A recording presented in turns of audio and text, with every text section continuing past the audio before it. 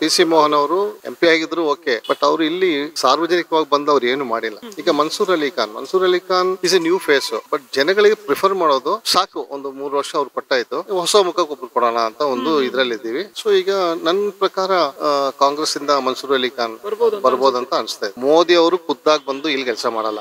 So ಅವರು ಅವ್ರ ಹೆಸರು ಹೇಳಿ ಮತ ಕೇಳೋದು I think it's a foolishness ನೀವೇನ್ ಮಾಡ್ತೀರಾ?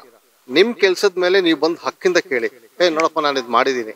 ನನಗೆ ವೋಟ್ ಹಾಕಿ ಅಂತ ನೀವು ಕೇಳ್ಬೋದು. ನೀವು ಅದೇನು ಮಾಡದೆ ಬ್ಯಾಕ್ ಗ್ರೌಂಡ್ ಇಂದ ಡಿಜಿಟಲ್ ಮೀಡಿಯಾ ಹೋಗ್ಲಿ ಸುಮ್ನೆ ಅವ್ರ ಮೇಲೆ ಅಪಾದ ಹಾಕಿ ಇವ್ರ ಮೇಲೆ ಅಪಾದ ಹಾಕಿ ವೋಟ್ ಕೇಳೋದು ಅರ್ಥ ಇಲ್ಲ.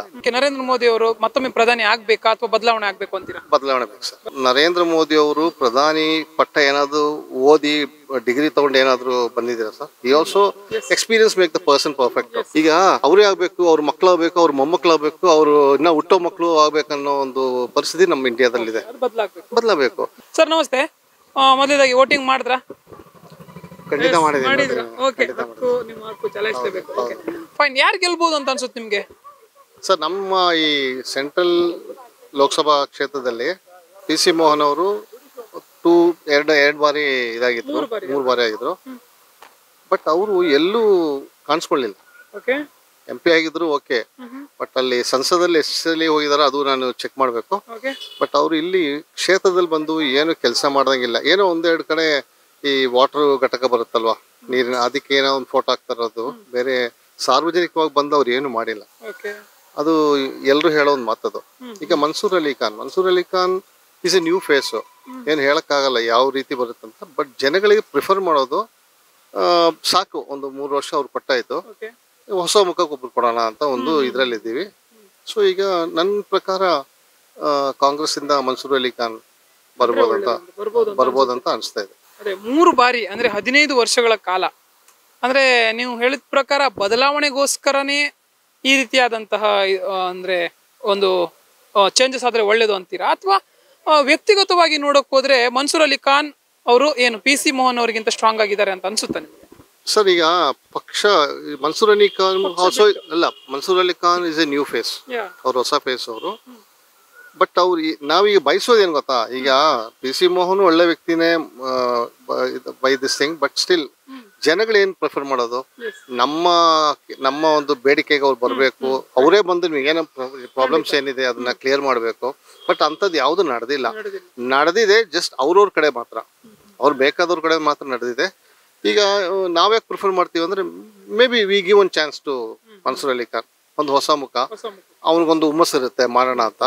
ಅವರು ಇದನ್ನ ಮಾಡಿಲ್ಲ ಅಂದ್ರೆ next time next next time he'll go ಅಷ್ಟೇ. ಸೊ ಒಂದ್ ಬಾರಿ ಒಂದು ಒಂದು ಅವಕಾಶ ತಗೊಂಡು ಅಂದ್ರೆ ಅವ್ರಿಗೊಂದು ಅವಕಾಶ ಕೊಟ್ಟು ನೋಡೋಣ ಅನ್ನುವಂಥದ್ದು.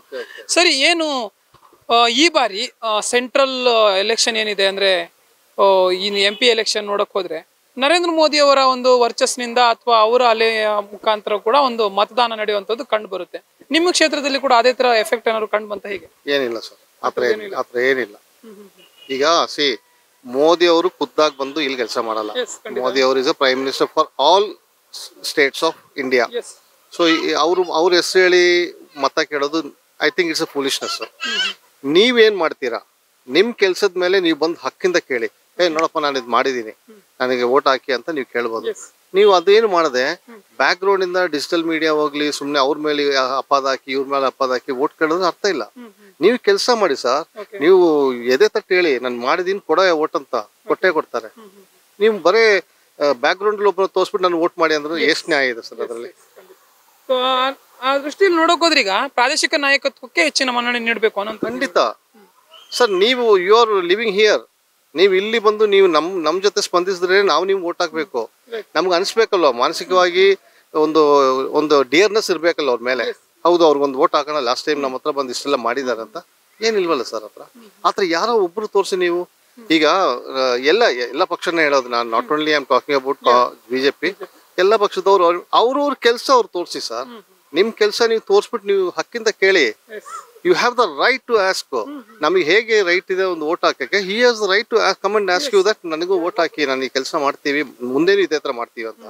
ನೀವು ಬ್ಯಾಕ್ ಗ್ರೌಂಡ್ ಅಲ್ಲಿ ದೊಡ್ಡ ದೊಡ್ಡ ಲೀಡರ್ಸ್ ತೋರಿಸ್ಬಿಟ್ಟು ತಗೊಂಡಿದ್ದು ನನಗೆ ಅರ್ಥ ಇಲ್ಲ ಅನ್ಸುತ್ತೆ ಸರ್. ಓಕೆ ಈಗ ಫೈನ್ ಈಗ ದೇಶಕ್ಕೆ ನರೇಂದ್ರ ಮೋದಿ ಅವರು ಮತ್ತೊಮ್ಮೆ ಪ್ರಧಾನಿ ಆಗ್ಬೇಕಾ ಅಥವಾ ಬದಲಾವಣೆ ಆಗ್ಬೇಕು ಅಂತೀರಾ? ಬದಲಾವಣೆ ಬೇಕು ಸರ್. ಬದಲಾವಣೆ ಬೇಕು. ಯಾಕೆ ಸರ್ ಬದಲಾವಣೆ ಬೇಕು? ಅಲ್ಲ ಈಗ ಆಪಾದನೆಗಳು ತುಂಬಾ ಜಾಸ್ತಿ ಬರ್ತಾ ಇದೆ ಎಲೆಕ್ಟ್ರಾಲ್ ಬೋರ್ಡ್ಸ್ ಈಗ ಅವರು ಪ್ರಧಾನಿ ಅವರು ನಮಗೆ ಮುಂಚೆ ಏನ್ ಹೇಳಿದ್ರು ನಾ ಕಾವುಂಗ ನಾ ಕಾನೇದುಂಗ ಅಂತ. ಈಗ ನೀವೇ ಎಳೆ ಎಳೆಯಾಗಿ ಆಗಿ ನೋಡಿದ್ರೆ ಎಲ್ಲಿ ಜಾಸ್ತಿ ಭ್ರಷ್ಟಾಚಾರ ನಿಮಗೆ ಗೊತ್ತು. ನನಗಿಂತ ಮಾಧ್ಯಮದವರು ನೀವು. ನಿಮಗೆ ಗೊತ್ತು ಎಲ್ಲಿ ಯಾವ ಇದರಲ್ಲಿ ಮಾಧ್ಯ ಭ್ರಷ್ಟಾಚಾರ ಬರ್ತಾ ಇದೆ ಅಂತ.